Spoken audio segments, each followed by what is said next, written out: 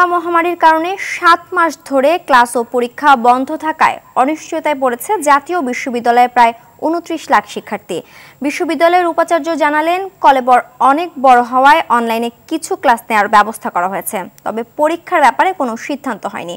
উচ্চশিক্ষা নিয়ে আতিকা রহমানের ধারাবাহিক রিপোর্টের চতুর্থ পর্ব আজ। অনেক বছর ধরে সেশন জট ছিল জাতীয় বিশ্ববিদ্যালয়ের নৃত্যসঙ্গী। তবে দুই হাজার আঠারো উনিশ শিক্ষাবর্ষে বিশ্ববিদ্যালয়ের ক্র্যাশ প্রোগ্রামে তা অনেকটাই কমে গেছে। কিন্তু কোভিড নাইন্টিনের কারণে এখন আবার সেশন জটের কবলে পড়তে যাচ্ছে জাতীয় বিশ্ববিদ্যালয়ের শিক্ষার্থীরা। বিশ্ববিদ্যালয়টির অধীনে যে দুই হাজার দুইশো উনপঞ্চাশটি কলেজ রয়েছে, তার সবগুলোতে শিক্ষা কার্যক্রম বন্ধ রয়েছে। এত বিশাল সংখ্যক কলেজে অনলাইন ক্লাস নেওয়া সম্ভব হচ্ছে না। আমাদের অলরেডি এক বছর চলে গেছে। দুই তিন মাসের মধ্যে পরীক্ষা হওয়ার কথা ছিল। সময় মতো পরীক্ষা কি আদৌ শেষ হবে কিনা এটা নিয়ে আমরা খুবই চিন্তিত। ইলেকট্রনিক ডিভাইসই যাদের নাই তারা আসলে কীভাবে এই অনলাইন ক্লাসের আওতায় আসবে?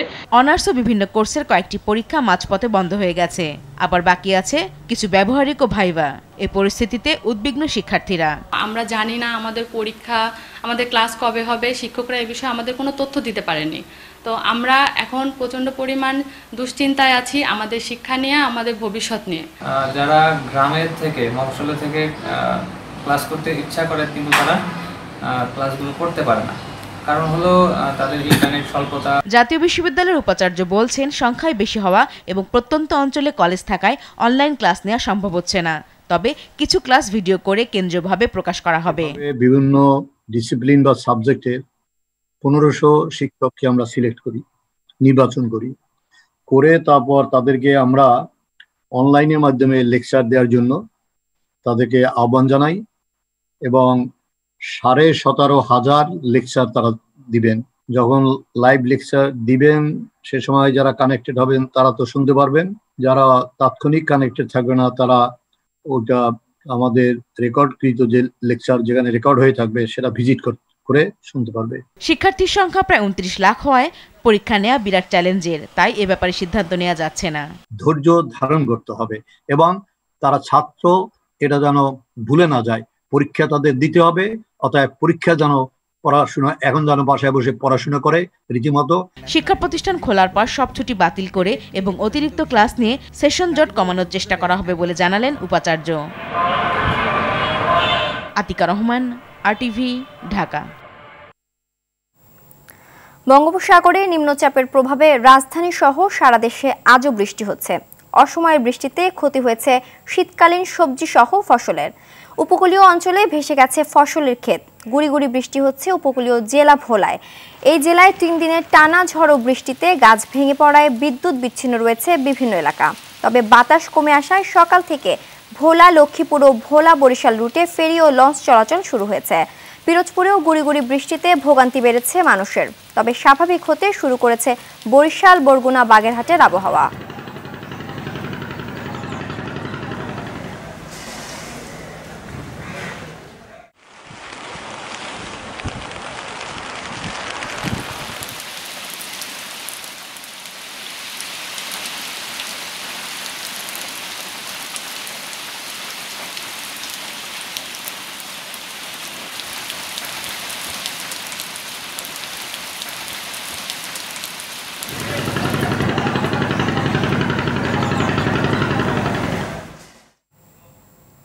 দুর্গাপূজার আজ মহা অষ্টমী শারদীয় দুর্গাপূজার সবচেয়ে আকর্ষণীয় আর জাঁকজমকপূর্ণ দিন আজ। এ তিথিতে সন্ধি পূজা, কালী পূজা সহ নারী জাতিকে সম্মান জানিয়ে মায়ের সাকার উপাসনার জন্য কুমারী পূজা করা হয়। তবে বৈশ্বিক করোনা ভাইরাসের প্রাদুর্ভাবের কারণে পূর্ব সিদ্ধান্ত অনুযায়ী এবার রাজধানীতে পালন করা হচ্ছে না কুমারী পূজা। শুক্রবার ছিল দুর্গোৎসবের মহাসপ্তমী।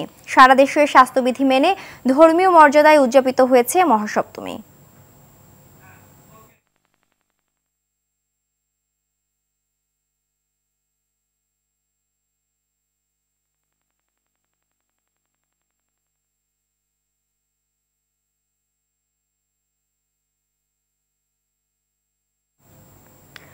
দর্শক, রাজধানীর বনানী পূজা মণ্ডপে আছেন সহকর্মী আতিকা রহমান। সেখান থেকে সরাসরি যুক্ত হচ্ছেন তিনি। আতিকা মহা অষ্টমীর আনুষ্ঠানিকতা সম্পর্কে জানান।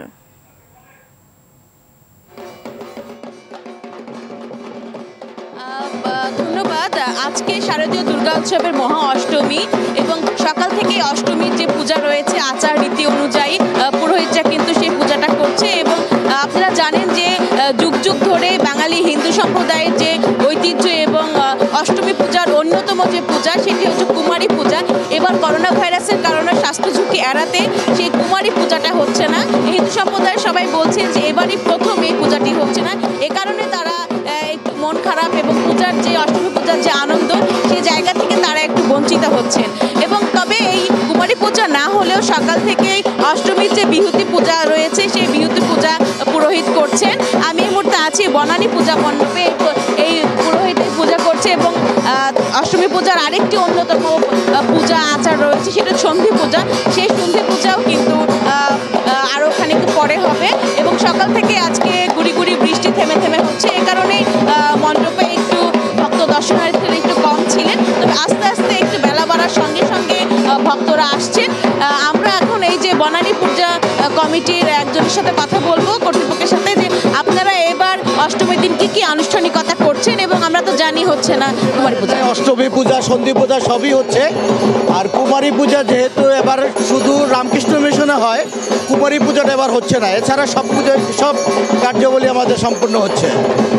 আর আমাদের এবার করোনার কারণে দর্শনার্থীদের জন্য সব ধরনের ব্যবস্থা রাখা হয়েছে। স্বাস্থ্যসম্মত ব্যবস্থা, মাস্ক পরে পরিধান করে আসতে হবে। তারপরে হ্যান্ড স্যানিটাইজেশনের ব্যবস্থা করা হয়েছে, দূরত্ব বজায় রাখার জন্য ব্যবস্থা করা হয়েছে, সব ধরনের ব্যবস্থাই আমরা এবার আয়োজন করা হয়েছে। জি ধন্যবাদ। এই যে আপনারা এখন দেখছেন যে পূজার যে আনুষ্ঠানিকতা এবং দেবীকে যে উপহার সামগ্রী দেয় সেই কাজগুলো চলছে এবং এই যে ঢাকের তালে যতটুকু পারা যায় করোনা মহামারীর মধ্যেই দিয়ে তাদের আনুষ্ঠানিকতা করা, সেই কাজটি এখানে হচ্ছে। আপনাকে ধন্যবাদ। এই ছিল আমার কাছে পূজা মণ্ডপ থেকে সর্বশেষ তথ্য। ধন্যবাদ। এতক্ষণ রাজধানীর বনানী থেকে জানাচ্ছিলেন আন্তিকা রহমান।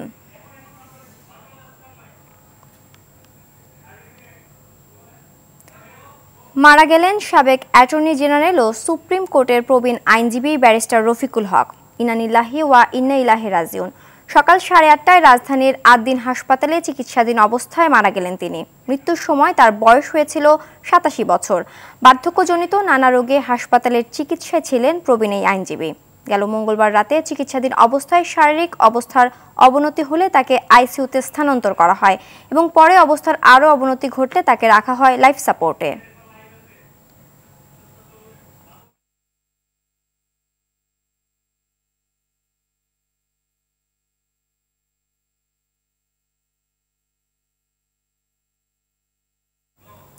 দর্শক, রাজধানীর আটদিন হাসপাতালে আছেন সহকর্মী এ আর বাদল। সেখান থেকে সরাসরি যুক্ত হচ্ছেন তিনি। বাদল ব্যারিস্টার রফিকুল হকের দাফন ও জানাজা কখন হবে জানতে পেরেছেন কিনা? সিনথিয়া ব্যারিস্টার রফিকুল হফের দাফন এবং জানাজা ঠিক কখন হবে এ এখনও নির্ধারিত হয়নি বিষয়টি।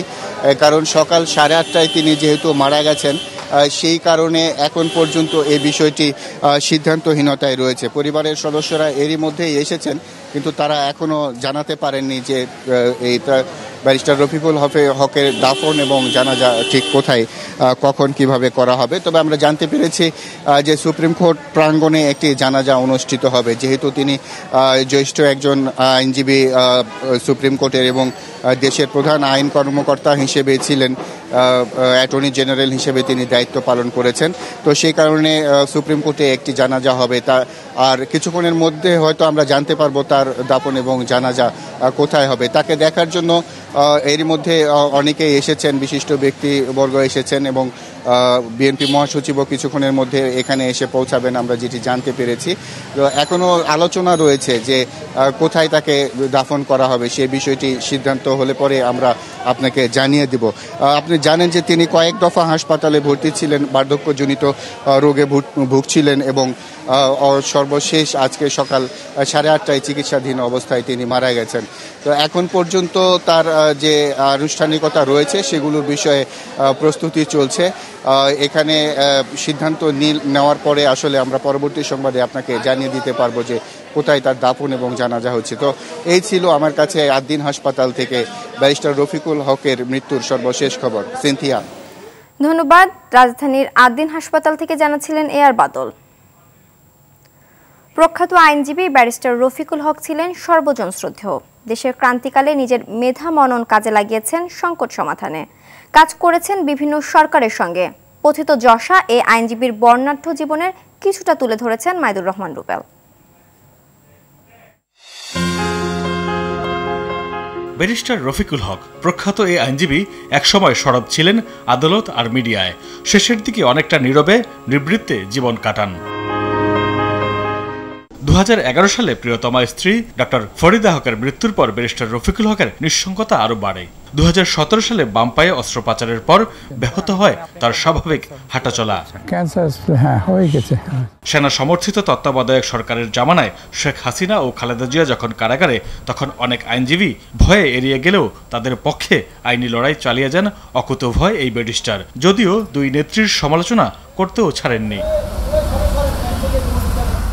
ব্যারিস্টার রফিকুল হক তার জীবনের উপার্জিত অর্থের প্রায় সবই ব্যয় করেছেন মানুষের কল্যাণ ও সমাজসেবায়।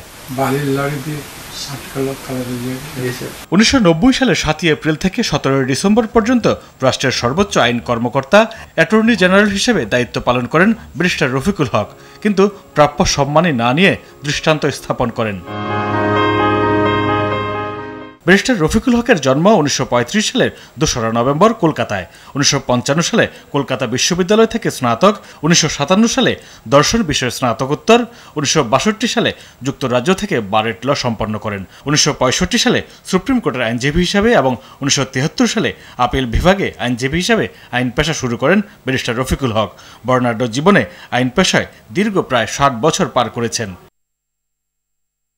পঁচাশি বছর বয়সে মৃত্যুর রেখা টেনে সুতুর অপারে চলে গেলেন প্রখ্যাত এই আইনজীবী। Maidur Rahman Rubel R TV Dhaka. সরকারের বেঁধে দেওয়া দামে বাজারে মিলছে না আলু। বাজার ভেদে বিক্রি হচ্ছে পঁয়তাল্লিশ থেকে পঞ্চাশ টাকা দরে। তবে গেল কয়েকদিন থেকে পঁচিশ টাকা দরে খোলা বাজারে আলু বিক্রি শুরু করেছে টিসিবি। প্রয়োজনের তুলনায় টিসিবি সেবা অপ্রতুল মনে করেন ভোক্তারা। বাজারে চাপ সৃষ্টি করতে চাইলে ট্রাকের সংখ্যা বাড়ানো প্রয়োজন বলে মনে করেন ভোক্তারা। দাম কমেনি পেঁয়াজেও। সবজির বাজার চড়া এখনও। শীতের সবজি না আসা পর্যন্ত দাম কমার সম্ভাবনা নেই বলে মনে করেন বিক্রেতারা।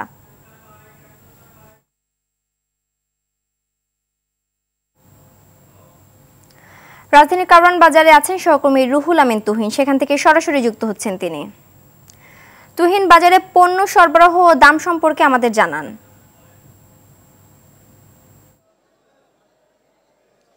সিনথিয়া, একটি চমৎকার প্রশ্ন করেছেন আপনি, পণ্যের সরবরাহ কেমন? এটি আসলে আজকের মূল আলোচ্য বিষয়।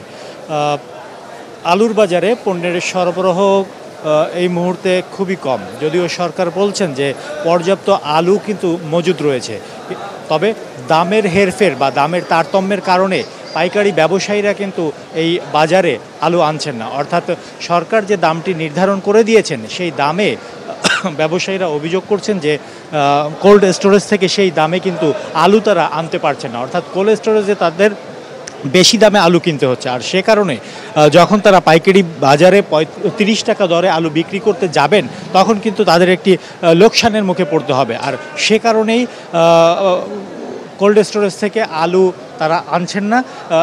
এজন্য ব্যবসায়ীরা মনে করছেন যে এই আলুর বাজার নিয়ন্ত্রণ করতে হলে মনিটরিং টিমকে গণমাধ্যমকে খেয়াল রাখতে হবে কোল্ড স্টোরেজের দিকে। অর্থাৎ যেখান থেকে আলুটি সাপ্লাই হচ্ছে, সেই জায়গাটা যদি দামের, নির্ধারিত দামের নিশ্চয়তা প্রদান করা যায়, তাহলে কিন্তু খুচরা বাজারে এসে বা পাইকারি বাজারে এসে যে দামটি নির্ধারণ করা হয়েছে, সেই দামে বিক্রি করলেই তাদের ব্যবসায় কোনো ক্ষতি হবে না। কিন্তু এখন তারা বলছেন যে, যেহেতু কোল্ড স্টোরেজ থেকে বেশি দামে আলু কিনতে হচ্ছে, সেহেতু পাইকারি পর্যায়ে এসে বা খুচরা পর্যায়ে এসে যখন তারা বিক্রি করবে, তখন তাদের একটি লোকসানের মুখে পড়তে হবে। পাশাপাশি অন্য অন্য পণ্যের ক্ষেত্রে যদি আমরা বলি, পেঁয়াজের ক্ষেত্রে আমরা দেখছি প্রচুর সরবরাহ রয়েছে।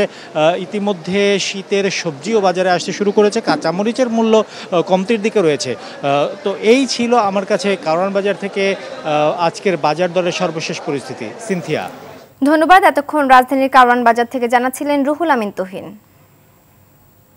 সিলেটের বন্দর বাজারের ব্যবসায়ী, পথচারী এবং পর্যটকদের কাছ থেকে নিয়মিত চাঁদা আদায় করতেন এসআই আকবর।